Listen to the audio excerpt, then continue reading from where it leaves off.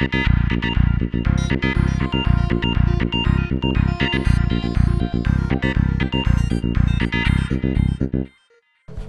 Arrivano le prime conferme da parte dei cinque consiglieri che hanno scelto di proseguire per la loro strada e sostengono la tesi del consigliere Palazzo che vuole una chiarificazione da parte del sindaco in merito alle accuse lanciate nei confronti di alcuni consiglieri comunali che vanno ad offendere l'operato di tutti i consiglieri, oppure che vengano fatti nomi dei consiglieri quali Gonzales faceva riferimento. Insomma, ancora problemi nel centro-sinistra brindisino, intanto in riferimento alla rappresentatività di alcuni assessori rispetto ai rispettivi consiglieri di riferimento.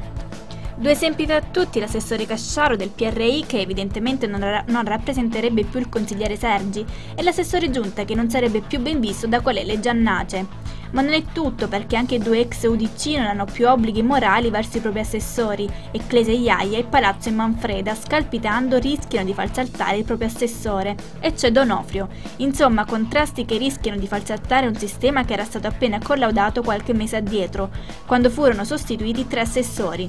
Oggi c'è il rischio che quell'operazione debba essere ripetuta ma senza garanzie di stabilità.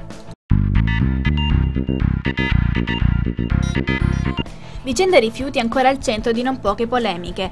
Al comunicato delle ultime ore del sindaco Gonzales arriva la risposta del coordinatore cittadino del PDL Pietro Santoro.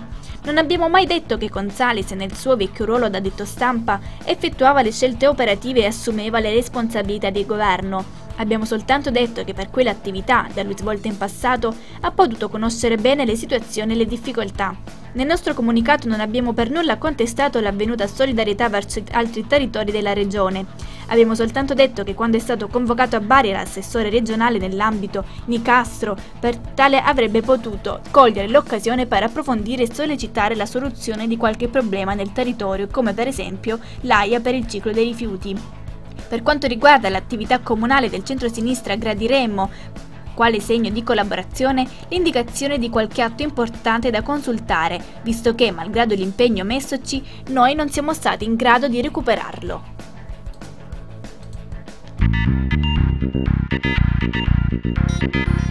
hanno preso il via le attività di animazione ludica organizzati dalla cooperativa Mani, con il servizio La città dei ragazzi e intitolata Quartieri in gioco estate 2013, nell'ambito del piano comunale territoriale Coloriamo la città.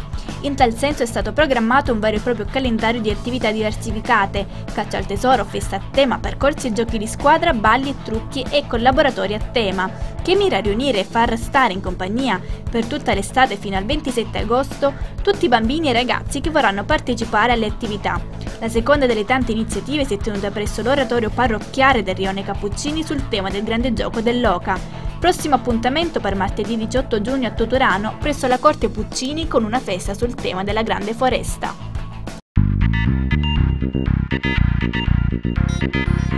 Incontro organizzato presso l'Hotel Palazzo Virgilio dal Circolo Idea a destra di Fratelli d'Italia con una conferenza stampa di presentazione del progetto Scuola di formazione amministrativa con spunti politici, rivolto alle nuove generazioni per aiutarli a sostenerli nel loro primo avvicinamento alla politica. Il progetto mira infatti a formare e a guidare i nuovi giovani nel loro percorso politico. All'evento promosso dal Circolo Brindisino di Fratelli d'Italia erano presenti il coordinatore dello stesso, Roberto Quarta, e la neoletta portavoce provinciale del partito, Livia Antonucci.